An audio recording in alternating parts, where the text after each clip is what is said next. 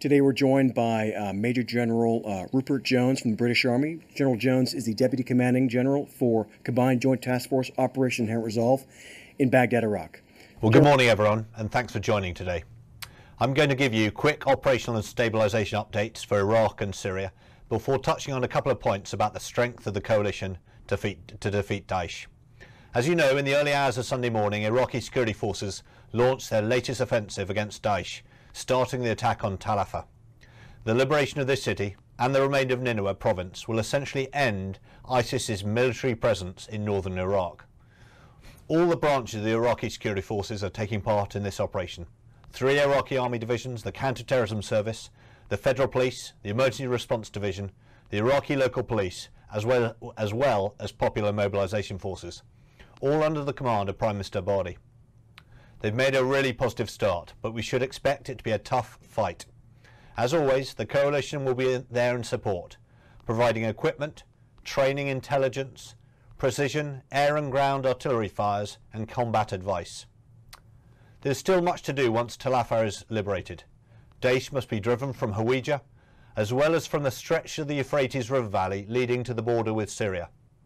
However, make no mistake, the momentum is clearly with the Iraqi security forces and they have the intent and capability to complete the military defeat of Daesh in Iraq, and the coalition will be, will be there in support all the way. The results since the dark days of 2014 speak for, for themselves. 40,000 square kilometres have been liberated. That's basically the size of Switzerland. 82,000 square kilometres in total if you include Syria. That's the size of Austria. The Iraqi security forces have prevailed in the toughest urban battle since World War II. As a result, about 4 million people are able to live their lives free from Daesh's tyrannical rule. Another million and a half have been liberated in Syria. Daesh are losing on all fronts and our partners have irresistible momentum. But in many ways, the real challenge only starts when the fighting stops. The government of Iraq, with the United Nations and others, has worked tirelessly to help IDPs return home to restore essential services and start the slow process of recovering from the great trauma cities like Mosul have suffered. The results are pretty incredible. In Ramadi, over 330,000 people have returned home. Nearly 14,500 children are back in the classroom in, refurb in refurbished schools. There's a similar story in Fallujah, where 400,000 have returned. Housing and jobs projects are helping a gradual return to normality and supporting livelihoods. What always strikes me most on the streets is what the people are doing, their resilience and determination to take back their lives. The focus in West Mosul is often on the levels of destruction, but in many areas, many areas people are getting back to some degree of normality and markets are thriving. You liberate people, not bricks. Buildings can be rebuilt, lives cannot. Moving to Syria, the Syrian Democratic Forces, the SDF, with our support, are into the third month of the clearance of Raqqa. As expected, the fighting is tough, and the SDF face heavy resistance, not least from improvised explosive devices. But the SDF are making incremental gains on multiple fronts, and ISIS fighters are suffering considerable losses. This week alone, the coalition conducted more than 250 strikes on tunnel systems, IED factories, enemy rocket and mortar positions, and command and control nodes. There will be tough weeks ahead, but the enemy are suffering uh, and the pressure is translating into progress on the ground, building by building. The deconfliction line south of the Euphrates is holding, allowing both the SDF and regime forces to remain focused on fighting Daesh. We will continue to use these deconf deconfliction procedures as forces continue to advance against ISIS-held areas in Syria. Now last week I met once again with the Raqqa Civil Council and the Tabqa Civil Council. We often characterise the situation in northern Syria along sectarian lines, particularly Kurds and Arabs. That's not how they see it. They're Raqawis first, working in partnership to liberate and help their towns. The councils are doing a good job, working at, work, acting on behalf of the people, channeling assistance to IDPs, providing security in liberated areas, and starting the slow process of restoring essential services. Each time I return to towns like Ain Issa and Tabqa, there are more signs of recovery. Manbij marked the one-year anniversary of its liberation last week. The town is thriving and the market's bustling, offering an insight of what Raqqa can look forward to. Last week I also met with a large group of IDPs north of Tabqa, the bulk of whom had come from regime cleared areas. I asked them why they'd not remained where they were, now free from ISIS. They were unequivocal that they wanted to come to the SDF area where they see the best prospects for their families, and, and they were effusive in their praise of how they have been treated by the SDF and by the Raqqa Internal Security Force. Finally, since this is my final briefing to you after over a year in theatre, I want to end with a few words as the senior non-US member of the coalition. Up front, this has always felt like a coalition. The unity of the coalition is one of the greatest strengths we have. 69 nations and 44 international organisations united against a common enemy. The US provides vital leadership and fighting, fighting power, but this is a team effort.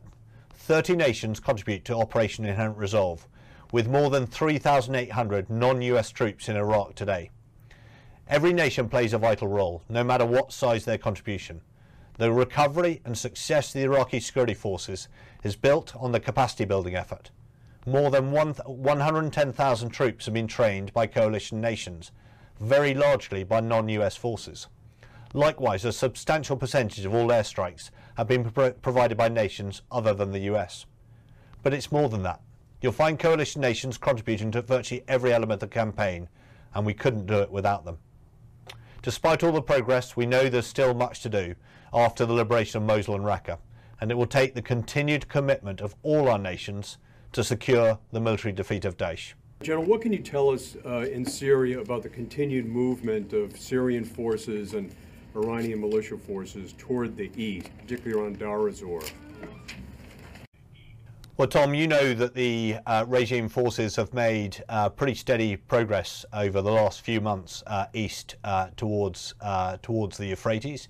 Uh, we had always assumed that they would do that to some degree, the regime have a beleaguered outpost in, in ez-Zor. So it had always been part of our assumption uh, that the regime would advance uh, east to uh, towards uh, the Euphrates. And as you know, that's it's for that very reason that we have these deconfliction procedures in place. Those deconfliction procedures are serving us very well uh, south of Tabqa, uh, and we will of course need those those procedures later on the assumption that the regime continue to advance towards the Euphrates. Talk about the numbers you're seeing moving in that direction, and uh, has there been any problems uh, working out areas deconfliction with those those forces heading there? So I don't want to talk about numbers of regime forces in in the various uh, advances. You know, I, th I, think the point is uh, that, that it's, it's, hard going for them. Uh, they're, they're, making ste steady headway, but it's not easy. You know, any more than it's easy for the coalition to uh, advance uh, uh, against Daesh. In terms of the, the deconfliction procedures, you know, th thus far the only area where we've need to, needed to deconflict uh, is around Manbij uh, and in the area south, south of Tabqa. Uh, but I think what's really encouraging is we've got we've got the procedures in place. We know how to uh, deconflict. We always knew that in the later stages of this campaign, uh, the battle space will become more and more congested, and that's exactly what we're seeing. Uh, and the key is that we, we think about it in advance, we plan for it in advance, and we have protocols re ready to go. And as I say, those deconfliction procedures have served us very well uh, around Tabqa, and we're confident they can serve us well going forward. Thanks, we're good. General, you had mentioned the progress being made into both Syria and Iraq, and Secretary Mattis had even mentioned that ISIS is being squeezed uh, in the area. Has that general strategy always been the plan? In other words, as um, Syrian Democratic forces make progress on Raqqa and Iraqi forces make progress in Tal Afar, that you're squeezing ISIS at the same time? Yes, I mean, I, I, think that has always been the case. I mean, I think for a considerable period of time, we have recognised that to some degree, the campaign to defeat Daesh ends in what we characterise as the Middle Euphrates River Valley. So essentially, the area from just north of Deir down to uh, about Haditha uh, in in Iraq. You know, I think we've always seen that that is where where the battle ends. um, uh, that, that Daesh would be squeezed into that area and that's where they would be closed out. Of course, you will recognise one of the one of the features of working by, with, and through our partners means it's not our it's not our campaign design. We don't sit there uh, with a beautiful spreadsheet and then we fight, you know, exactly as we see it. We've got to work through our partners. Um, and so we have a we have an overall visualization of how, how this campaign will play out. Uh, but it has to be driven by the motives and the aspirations of our partners, not least, of course, by Prime Minister Abadi, uh, the sovereign, the sovereign prime minister who, in, in, Iraq, who, who, you know, he will dictate where his forces fight. But, but the expectation has always been that that would see Daesh increasingly squeezed into the, into the Middle Euphrates Valley, and that is where the military defeat will be completed. Thank you. I just wanted to touch on a couple of things you said. Uh, you mentioned the deconfliction line is holding up well uh, as that battle space becomes more congested. We haven't heard much, uh, and you talked about Manbij being one of the areas that the deconfliction line is used. There were reports that uh, coalition forces came under attack in the area around Manbij. Uh, these forces were doing an overt patrol to deter aggression at the time. Is there any more? Have there been more attacks like that? And is there any information as to who was conducting those attacks? Have been instances of, of cross, uh, cross line fires. Uh, you, you refer to the most recent incident uh, where there was fire that came, came across, the, across the line uh, from some kind of uh, opposition force, we, we believe. Um, so, so incidents like that do happen. Uh, we take appropriate measures to try and minimise the, the risk of, of those, those events happening, um, but, but they, they do happen. Um, and uh, of course, all coalition forces have the inherent right of self-defence uh, at their disposal should they feel uh, the, the need. But as a by and large, um, these deconfliction measures are serving us very well. To follow up on the other area where the deconfliction line is in effect, um, down in At Tanf garrison, we haven't heard much about it lately. Are, is the coalition still training uh, vetted Syrian opposition forces there? And is there a plan to use them uh, as the coalition kind of anticipates moving into the middle Euphrates River Valley. Hard to do now because the regime forces are kind of positioned between At Tanf and that area. Is there kind of a plan being developed to get them into the fight? And is there? Can you elaborate on what that is? So I guess the, you know, the reason um, you haven't heard much about the deconfliction area down in uh, uh, or the in, in uh, Atanaf is is because it's working. I mean that's the, that's the, that's the first thing.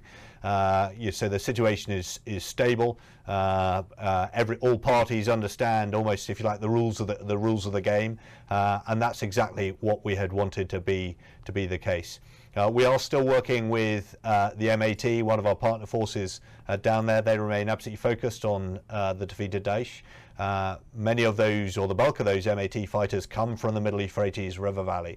So they have a very clear intention to get back to their homes to help liberate uh, their homes. So is there a clear path from Atanaf uh, up to the Euphrates at the moment, well, well as, as you indicated in, in, your question, no, clearly that is not simple to do at the moment. Uh, and we need to continue to look at the options as to how uh, the, the MAT might, might support the fight. Uh, an avenue might open up depending, depending what the regime does. General Jones, uh, since you mentioned Hawija and the Euphrates River Valley as the next battle after uh, Tal Afar, I'm wondering if you could share with us the size of, how much do you estimate the size of ISIS fighters in that area? Sorry, in which area specifically? Starting Tal Afar and going to Hawija and along the Euphrates River Valley. Okay, so I mean, I think the first thing I'd say, and, and you, you will recognise that predicting numbers of enemy fighters is, is an inherently difficult uh, activity. Um, uh, we know that. We know that often our predictions don't don't prove to be accurate, and there's a whole host of reasons for that. Not least, of course, uh, Daesh keep recruiting. You know, they don't start a fight and stop recruiting. You know, they, they recruit and they train throughout throughout a battle. Um, but uh, but as to our um, our current estimates, we would we believe that in Tal Afar there are about 2,000 fighters, uh, and in the Middle Euphrates somewhere between five and 10,000, something of, of, that order. But as I say, you know those those are those are broad figures, and it, it is very very difficult, despite all of our best intelligence efforts, to to predict that predict those figures uh, accurately. Up, sir, talking about numbers does the coalition still believe there are 2,500 ISIS fighters in Raqqa? Yeah, so so again, our estimate for Raqqa would be about 2,500. Um, as a, you know, that's uh, you know, we don't keep a running total. Um, that you know, each time we conduct a strike, well, that's that's you know, a couple more people ticked off the list. It just it doesn't work like that.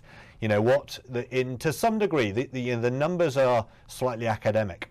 You know what matters is the, progress because this is a battle of wills. It's not ultimately a, ba a battle of numbers.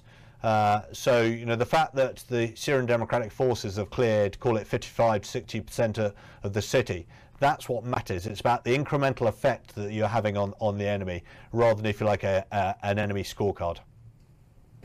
Quick, quick, uh, on the same topic on Iraq, you mentioned in your opening remarks that the Iraqi army have fought the toughest operations since World War II. I'm wondering how did you do this comparison? How did you compare the Iraqi operations to what we have seen in World War II?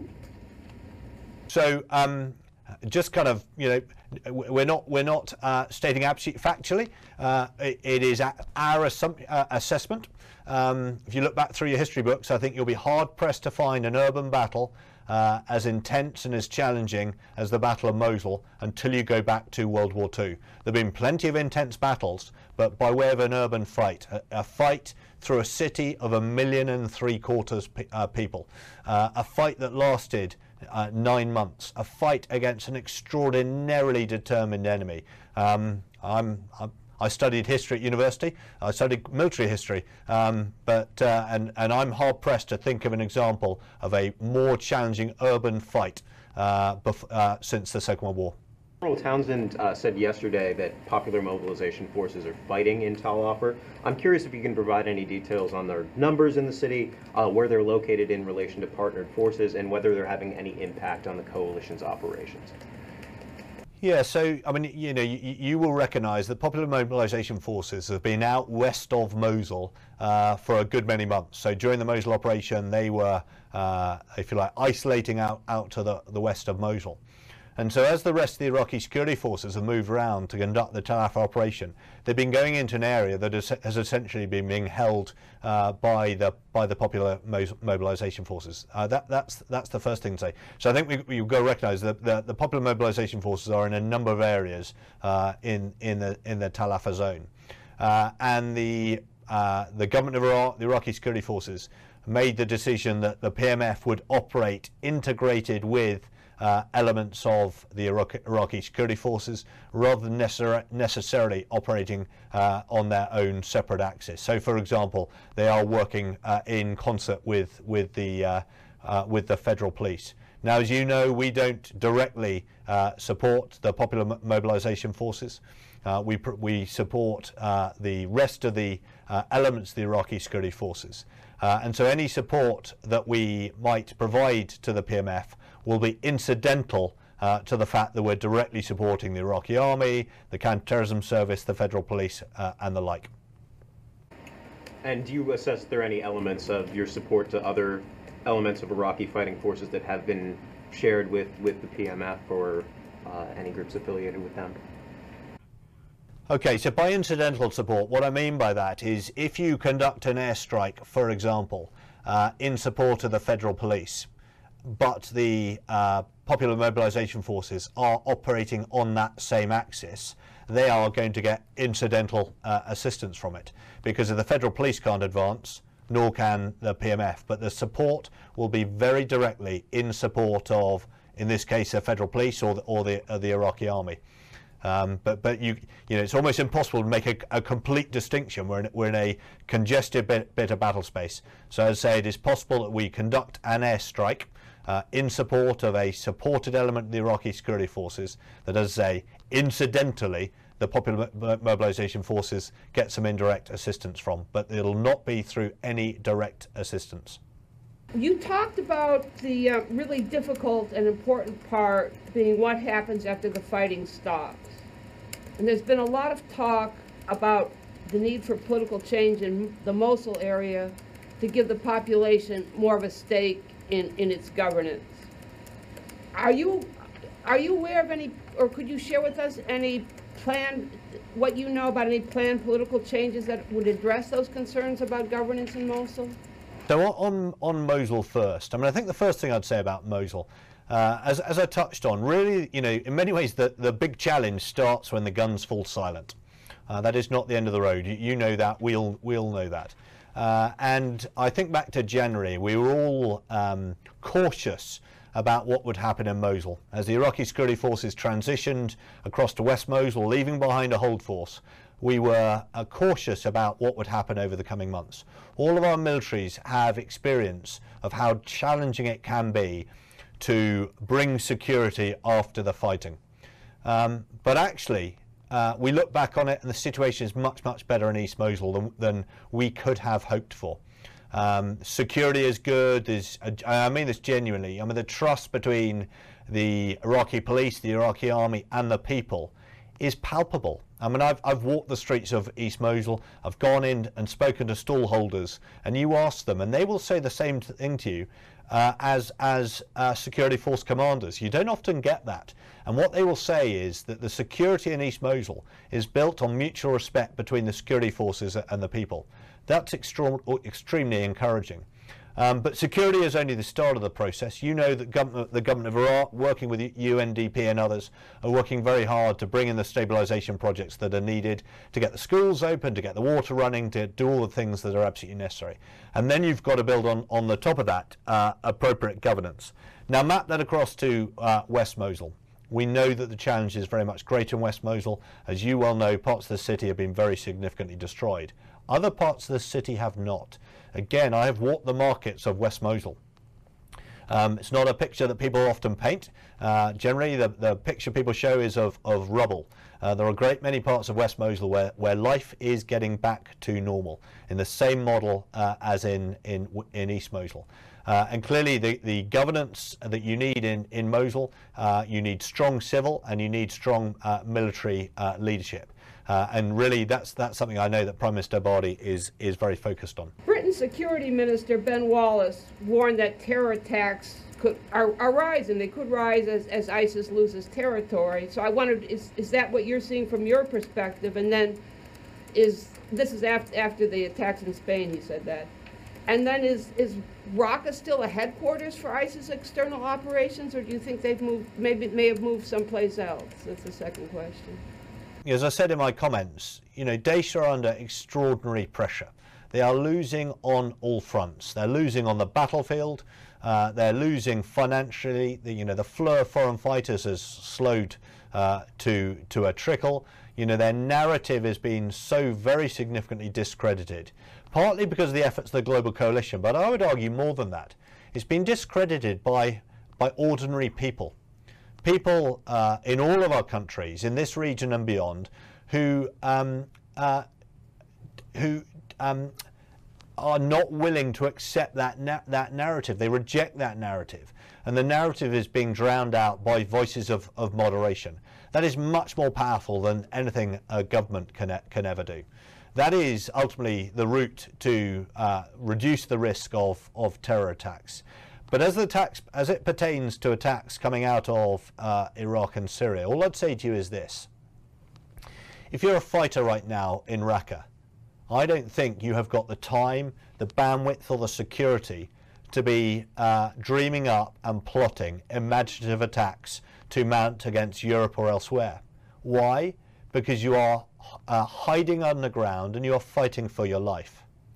Uh, so I, am not saying it can't happen, but it's extremely difficult. And if I was a fighter in Raqqa right now, I know I wouldn't be focused on on, uh, on plotting attacks. I would be I'll be fighting for, for my survival. And then finally, uh, you asked about uh, the degree to which Raqqa remains. Uh, I think you used the term capital of, of Raqqa. Again, you know, we, we know it's it's well recognised that a great many uh, fighters and indeed some of their Daesh capabilities have moved on down uh, the Euphrates to to other places, um, uh, and so you know there's a, there's if you like a bit a bit of a shift in in their balance to other locations, but we shouldn't underestimate the degree to which there are still a significant number of foreign fighters uh, in Raqqa uh, who need to be dealt with, uh, and as I say, I'm very confident the SDF will complete that job. Just to follow up on those questions, as far as you know, you're not aware of any planned political changes in the governance of Mosul that would prevent another ISIS from re returning? No, I mean, I think that's, yeah, it's really for Prime Minister Abadi to say uh, what his intentions are uh, for the for the governance of Mosul. The, you know, the, the governor of, of Mosul is is the uh, the responsible uh, individual. Um, so any any intentions to adjust that would clearly be for Prime Minister Abadi to announce. Sir, I wanted to know if you could share with us the extent of Iranian presence in Mosul or IRGC-backed elements in Mosul as the coalition has cleared uh, out ISIS are these IRGC affiliated um, elements coming into the city? And the follow on, sir, is um, as you progress into the next phase of stabilization operations, will coalition forces be liaising or perhaps even in some type of direct um, uh, coordination with Iranian or IRGC affiliated elements in Mosul? All the way through the Mosul battle, Prime Minister Abadi was very clear that he didn't want popular mo mobilization forces going into uh, the city. I touched on that earlier, and that's why uh, the PMF were operating uh, out to, to the west of the city.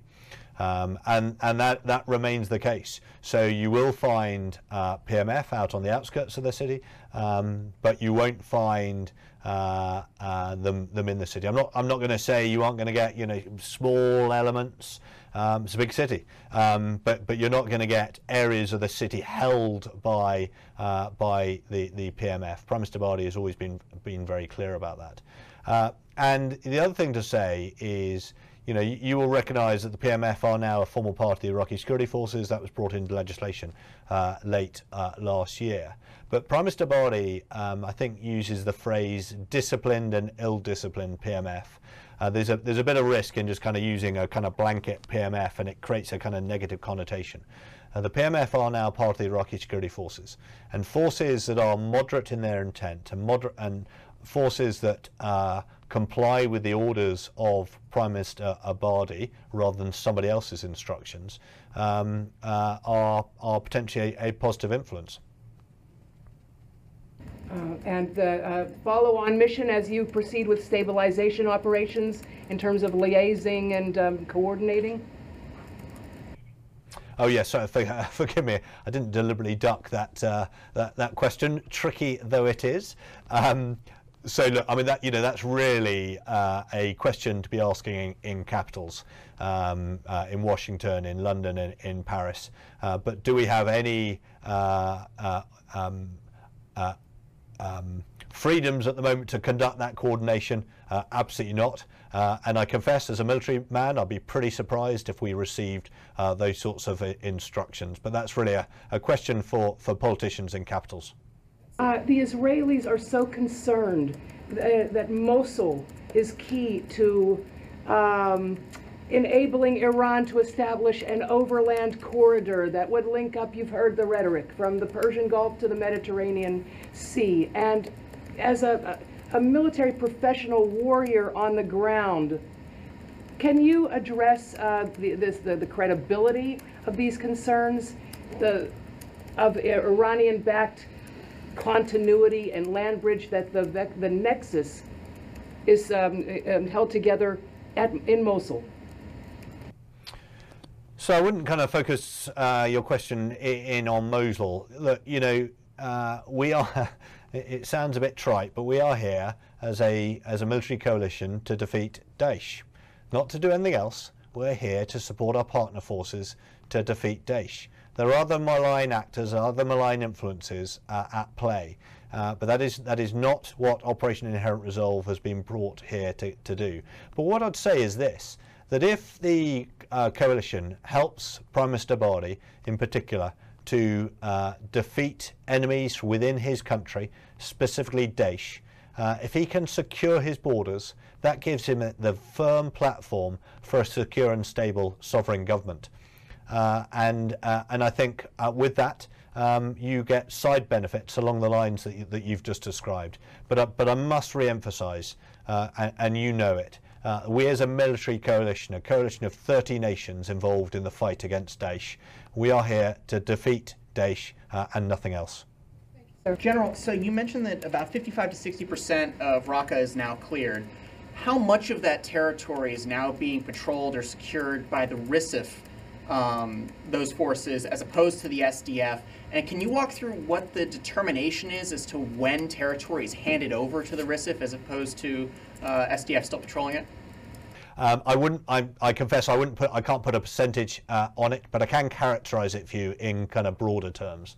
So the bulk of Raqqa province uh, is already uh, secured uh, by the Raqqa Internal uh, Security Force.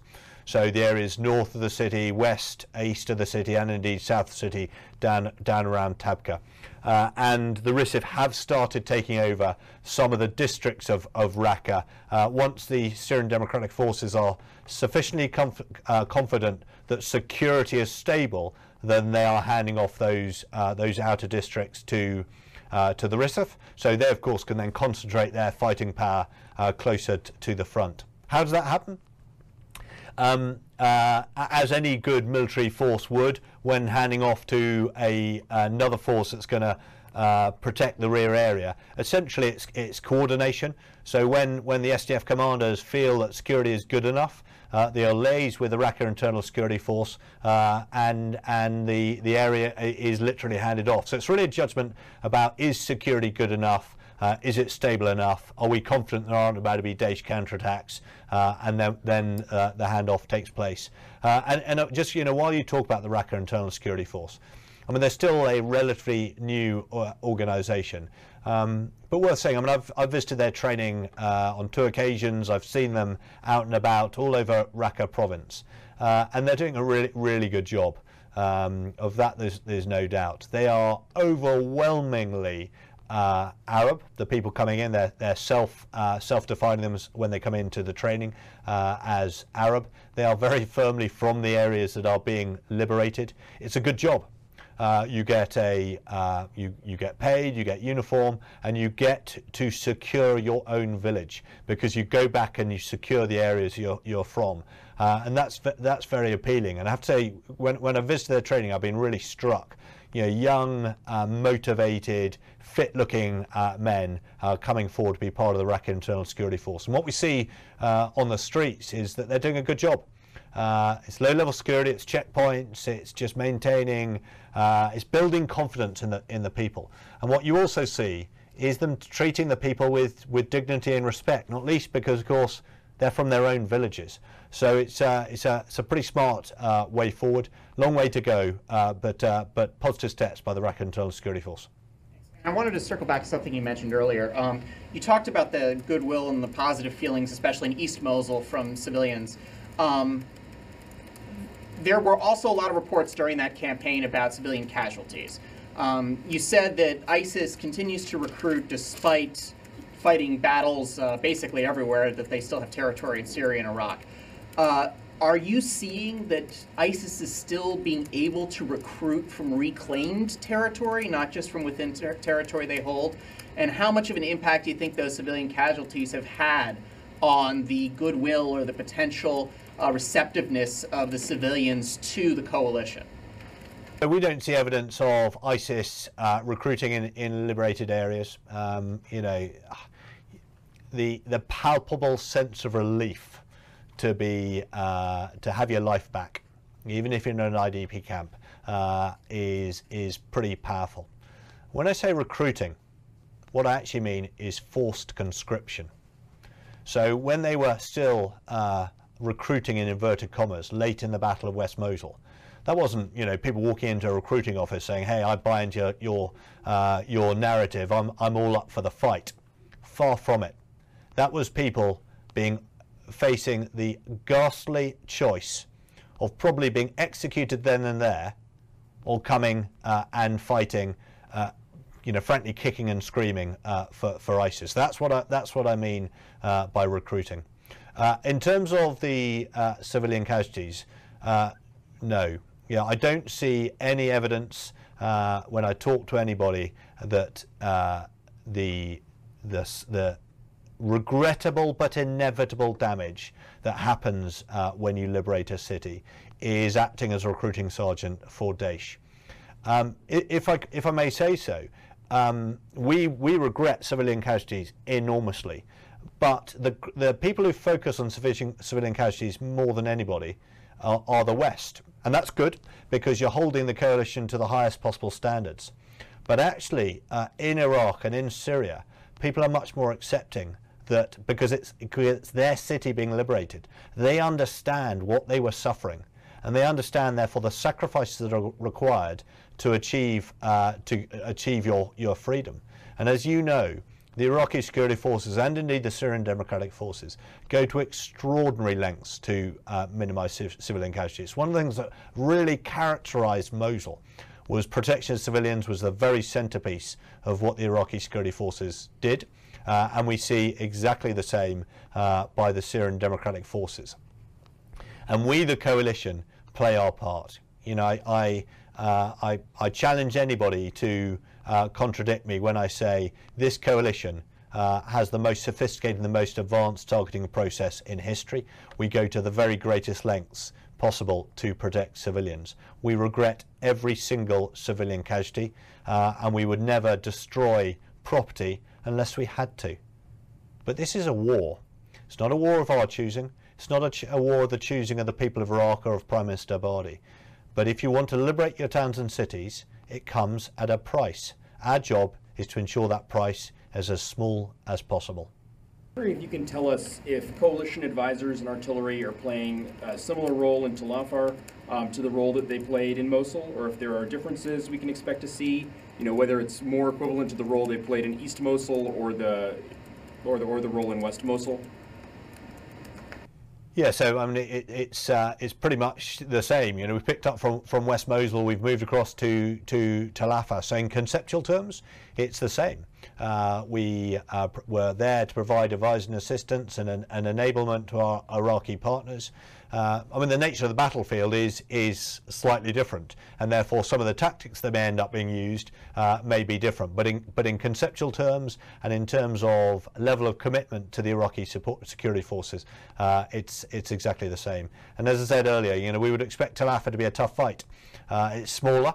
A uh, good deal smaller than, than Mosul, um, uh, but but you know for its size, we would still expect it to be a, tough battle follow up on a, on a different subject. I realize that as a, a, British officer, you're not the perfect person for this question, but can you give us the usual update on what the current U.S. troop levels in OIR are um, in Iraq and Syria, whether there's been any change since the last update?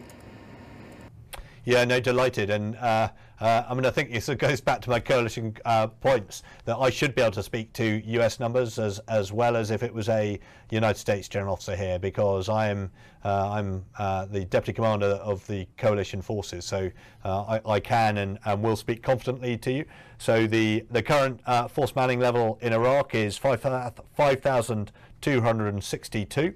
Uh, and Syria, it's it's 503. Uh, that has not changed for a little while. Other than forced recruiting, you know, are, are they uh, able to bring anybody in, and, and, where are the foreign fighters coming from if the whole area, if Raqqa is pretty well surrounded? I guess there's two sources of uh, recruitment. The first one is uh, I'm, I'm, not going to stand here and tell you that no foreign fighters are coming into Iraq and Syria. Um, you know, you cannot, short of uh, you know putting up a wire around Iraq and Syria, um, it, it, will remain possible for people who want to join the cause to do so. I think the point is that from the the early days uh, where you know in excess of a thousand people were coming into Iraq and Syria a month, that has slowed to a trickle. Uh, why is it slow to a trickle? Well, it's slowed for a number of the reasons I touched on already. Firstly, the brand is compromised. Uh, people don't believe in it. They don't want to come from France, Britain, Belgium, or anywhere else to come and uh, fight uh, for ISIS. But secondly, I guess, because of the great efforts by the global coalition uh, that sits beyond what we, the military, are doing. Uh, on the policing front, uh, on the information side, in terms of border control, not least, of course, by our NATO partner, uh, Turkey. Uh, who are impacted by this more than, frankly, uh, almost any other country since they border both Iraq and, and Syria. So, so uh, we, we, would assess that it's still possible some foreign fighters to come into Iraq and in Syria, but in, in very small numbers. And I should say, therefore, by extension, it's equally hard for foreign fighters to go back home again. Uh, you, you know, the idea that they can just mooch their way through Europe uh, is is just uh, is just not the case. Um, as, as, far as recruiting inside the Middle Euphrates uh, River Valley, um, uh, you know, I think I'd refer you to, to what we saw in in Mosul, uh, where um, you know they, they, are. I'm sure down there they are still able to conduct some recruiting, but I would wager it's increasingly forced recruiting. Uh, I think I touched uh, earlier on the fact that I spoke with some uh, some IDPs last week in a in a informal settlement north of north of Tabqa. It was a fascinating fascinating insight actually. About 80 of them, passionate all around me, um, and uh, you know they'd come from places like Mayadin. Uh, they they had already uh, escaped from from Daesh areas. Why? Because they want to be liberated from Daesh as much as somebody from Raqqa or or from from Mosul. Uh, continuing on slightly on that point, are you seeing any of the fighters inside Raqqa surrendering, or are you are you forced to uh, basically kill them all? There have been instances of uh, uh, Daesh fighters in in Raqqa surrendering. Uh, indeed, some of the, the messaging that has been delivered to them is you know to give them the option to surrender. Uh, they've been advised uh, how how they might do that. Uh, and uh, I would um, I would echo what Prime Minister Abadi said uh, at the weekend. He said it about Tal um, but the the same pertains to. Um, uh, sorry, he said. Yeah, he said about Rak, uh, but the same pertains to Raqqa. Uh, and he said at the weekend, "Surrender or die."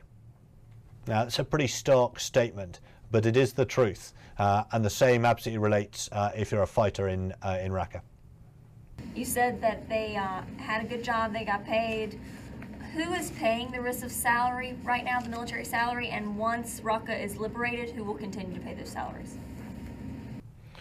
So the Raqqa Internal Security Force are a, a vetted force. Uh, and uh, so are being paid as part of the, the, the US uh, process.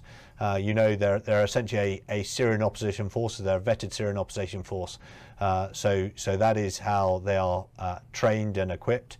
And clearly, it's it's for others to comment downstream in terms of how they how that may play out over time. Because you use the word pay, technically, it's a, it, they're given a stipend uh, just to be to be uh, accurate. So, General, what percentage of Tal Afar has been liberated right now from ISIS? In, in percentage of Tal Afar, so what, what day are we on? It was Wednesday today. We're on day day three. Um, uh, I wouldn't start breaking it down as a, as a percentage. I think that would be un, unhelpful to do. You know that the Iraqi security forces had quite a lot of ground to advance before they got to the city, particularly on the eastern side. On the, on the south uh, and the west, the front line was already closer to, to the city. So what you've got going on at the moment is the Iraqi security forces closing in on the, the city from the east. They've taken uh, Kisik Junction, they've taken uh, the Twin Cities, and they're closing uh, the noose, if you like, uh, from the east very effectively. Uh, in the south and the west, the front line was already much closer uh, and they have broken in to the city in both the west uh, and the east during the course of the day. But I wouldn't want to start kind of breaking that down as percentages. It's early days of the battle, but the key is that they have broken into the city. General, would you call these Iranian backed forces that are helping in the fight allies in a common cause? Uh, I'm not going to uh, comment on that uh, one way or the other. What I'm going to say to you uh, is that uh, we, the coalition, are here to support Prime Minister Abadi. Uh, we're here to support him to defeat Daesh, and we're here to support his uh, Iraqi security forces, security forces that comply with his orders, uh, that take their orders from from Baghdad. Uh, th those are the forces we're working with, and those are the forces we're supporting. Lastly, do you think that your American counterparts are a bit too optimistic in their reports and their general uh, take on the war against ISIS overall? I don't know what US reporting you're talking about because we're a coalition. Uh, it is a US led coalition. Um, I touched touched on that. You know, this isn't a NATO operation. The United States has has stepped up and taken the lead, and and thank God that they have, uh, because it because a coalition like this needs leadership, and the United States has uh, provided that leadership. So I don't view this through a United States optic. I view it through a coalition optic. So if you're referring, so I guess what you're referring to uh, are coalition reports, uh, and so no, I don't judge those to be unduly optimistic. Uh, we wish you a uh, safe conclusion to, your tour in Iraq and a safe return home. Thanks very much. Nice talking to you all.